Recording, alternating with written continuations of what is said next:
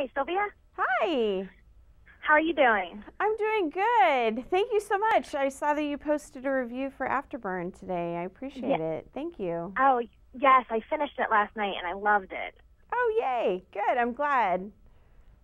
How did uh, the story, Gia and Jax's story, and your partnership with Cosmo come about?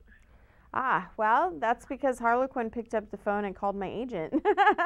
Oh, and okay. uh, and they said that they, you know, they had just started this collaboration with Cosmopolitan, and uh, and they, you know, were were launching this new series of Red Hot Reads, and they said that, you know, my heroines are are, you know, the Cosmo girl, which I agree with. You know, I, I have, uh, you know, my heroines are contemporary women who are ambitious and and they have you know very fulfilling lives all on their own but you know they wouldn't mind finding the right guy right? Who wouldn't? So i you know they presented it to me and and i said you know it sounds like a lot of fun and it has been. So i, I i'm really glad that they thought of me.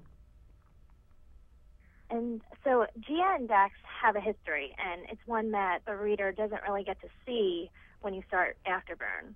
Uh, but it's referred to throughout the book. Are we going to get to see actually what tra- ever, uh, transpired between them in flashbacks or anything in the second Ah. book? Or you know flashbacks are one of those uh, literary devices that i avoid when possible uh, okay, but, um, gotcha. Uh, but definitely uh, they you know they have a lot to talk about in regards to what happened you know uh, two years previous to uh, you know afterburn starting so they're going to they're going to have to talk Okay. about it because of course gia has questions too she's like what happened and you know jax is the only one who can answer that So is it safe to say that we will get those in Aftershock?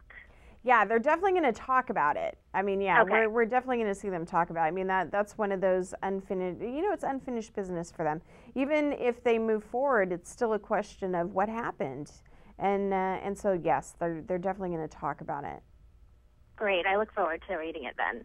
Um, so you you mentioned it that Gia is I agree is uh, what I envision as a Cosmo girl. Um, what makes her stand out as a female character? Um, like, what was your inspiration in creating her? Wow, I mean, uh, the inspiration for the series was the Food Network, so we can start there. Okay. You know, I happen to be a huge fan of it, and, and it's a it's a very high octane uh, field to, to be in, and I, I'm not sure that, that we all realize that, but it is, and, and that the dynamics behind that, you know, was fascinating to me. I wanted to explore that.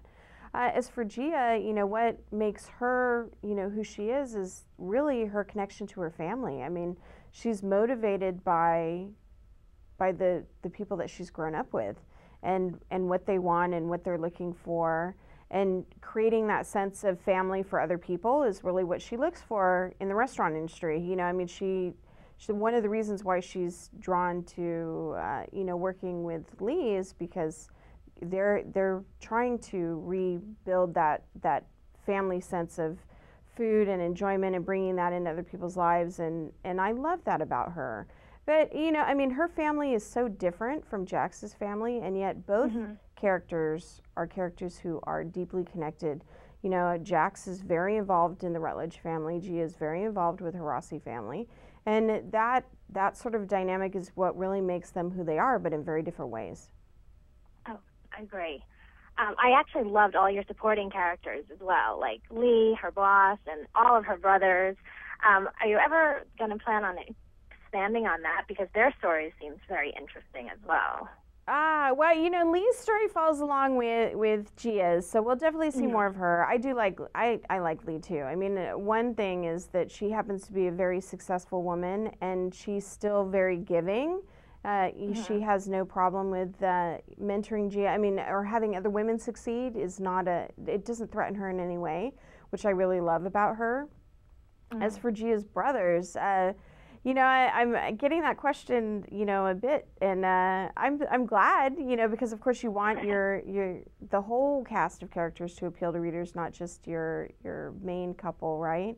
But I, I don't I don't know. I mean, I, I didn't plan on writing stories for them, but that doesn't mean that I won't. Uh, it's it's an intriguing thought to me.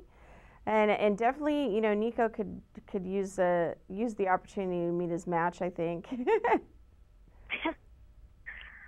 Um, besides Aftershock, which is coming out in November, um, and what is what else is in the works for you?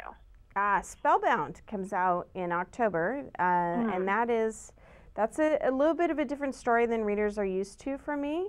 The first two parts of it have been available for a while. I, I wrote them uh, earlier in my career with uh, HarperCollins, and it, it's a continuing story that I hadn't yet been able to continue until now.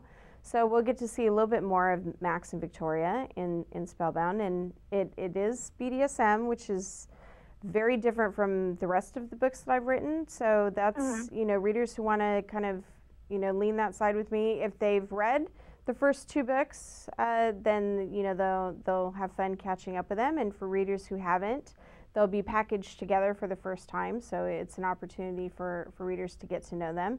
And of course, the, the second half of the story is all new. It's never been published before, so that I'm really looking forward to that being out and readers getting a chance to, to meet that couple if they haven't yet.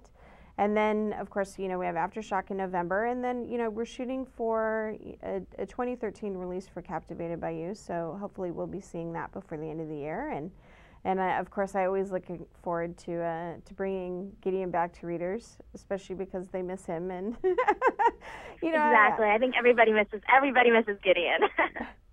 and, and, I don't want I don't want to monopolize him, although I do enjoy it a lot, spending time with him. You know, of course, he he's there for sharing. So, looking forward to, well, for, to that. Well, for my final question, it's just more of um, I know you're a huge fan of this TV show Scandal which yes. happens to be my favorite show as well. And there was even a small reference in Afterburn to to the show. Um, do you feel like watching shows like that help inspire you as a as an author? Not maybe in the way that, that you might think, uh, just that anytime you see a good story or read a good story, you get a certain feeling from it, right? I mean, you're energized mm-hmm. at the end of it, and that that energy makes me want to recreate that energy for other people.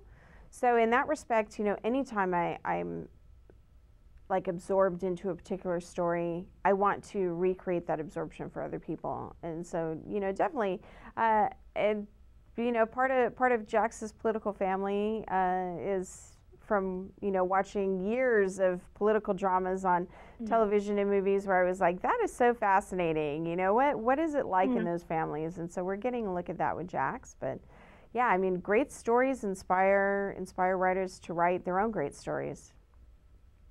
Well, thank you so much for your time, Sylvia. Um, I really appreciate it. I'm really looking forward to all the great books that you have coming out the rest of Thank the year. Thank you. Thanks. I'm so glad we got to chat today.